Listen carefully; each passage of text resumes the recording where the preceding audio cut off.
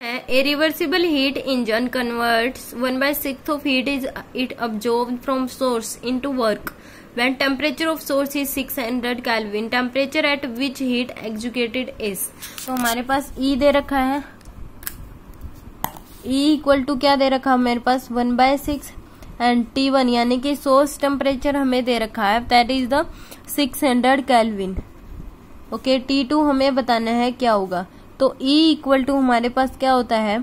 One minus T two by में T one E one मन दे रखा है हमें one by six one minus T two हमें निकालना है that is six hundred okay